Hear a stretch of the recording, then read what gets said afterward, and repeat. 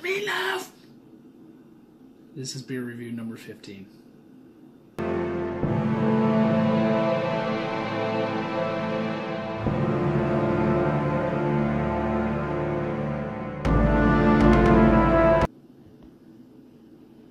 This week, our beer comes from the Evil Genius Beer Company. Ma the Meatloaf references the movie from Wedding Crashers, where Will uh, Ferrell has already progressed to crashing funerals in order to find dates. We can see here it's a mango vit ale. It's 5.5 ABV. Ale with natural flavored added. You got your government warning over here. You got your location and your recycling information here. Pretty simple. The Evil Genius Company itself is probably one of my favorites because they come out with some crazy names, and I've heard a rumor about how they actually name this stuff. But their website demonstrates their naming process altogether in one simple graphic, a graphic of nonsense, which makes me laugh. So, this is your beer review number 15. We're going to go to the website like we always do, and we're going to do research what kind of information we can find. The website is not as elegant as many of the other ones, but it's simple. They list all the uh, beers as they do it, and it's, like I said again, simple. You've already seen my Purple Monkey dishwasher, which is probably one of my favorites. And Ma the Meat Loaf. It says it's a Belgian white ale. Ma the Meatloaf is a Belgian style white ale made with a signature evil genius twist.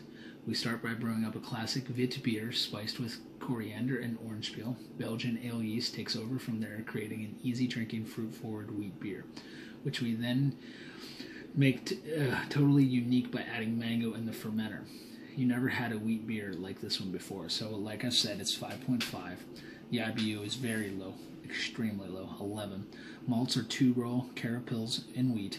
Hops, Hallertau and Saaz, and it's available in May, June, and July. So this is your summer beer.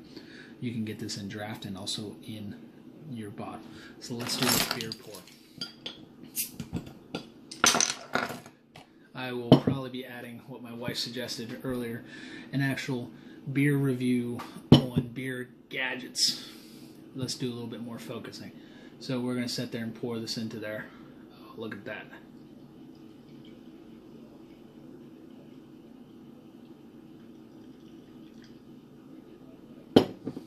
Like the last wheat beer that I had, which was the Alex Lemonade Stand through Sly Fox. That's a very clear beer and transparent. Uh, it's not completely filtered out. You can see the little particulates in there, but the carbonation looks phenomenal, and somehow I managed not to have any head on this beer. Oh my! You can really smell smell the mango. Um, I can't really smell any coriander or orange peel, but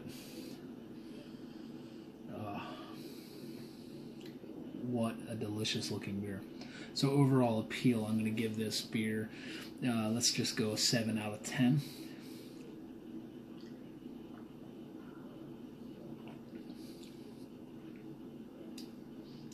Overall flavor, uh, I'm going to go all the way up to a 9 out of 10. We're going to round this overall score for the beer review this evening for Evil Genius's Ma the Meatloaf, the Mango Vit Ale, up to an 8 out of 10. So uh, some other notes. I watched another beer review this evening as he was live. I'm going to share his information in my videos, um, either at the end or in one of the card forms, or maybe both. Uh, like, comment, and subscribe on his page. He's very interesting. Um, he offers some other things that I do not offer.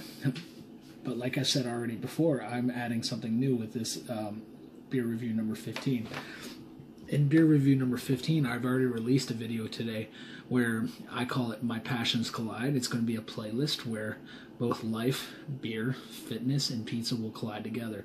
Like i said i hope fitness and beer do not collide because the last time i did that i was pretty unshaken i'm not unshaken i was pretty not well off so and you can see it right there i was able to add the fermentation filter to that IPA. Yes, it's an IPA. I know people don't like IPAs, but what I would like to do is is start simple into this process of growing my own beer and then being able to share share that with the world. So the review that I'm going to be uh, sharing in the comments at the end and also in a couple cards throughout the video is called Dickies Beer Review.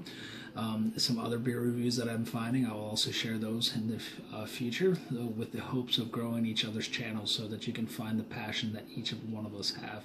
So if you'd like to see any other type of videos, pizza, fitness, or beer, let me know. Um, I've been creating some crazy pizzas at home for my kids to try, and I could share those recipes with the world if you so deem that it's necessary. Have a wonderful, wonderful evening, and like always, drink in moderation and don't overdo it. Good night. So just to make the videos more efficient, I'm going to put my big old head in the video and that's it. So up here, we're going to have our subscribe button. Over here, we're going to have a video that YouTube says it's going to be recommended. Down here is my most recent video. And then over here is going to be a video that I select. Have a good day.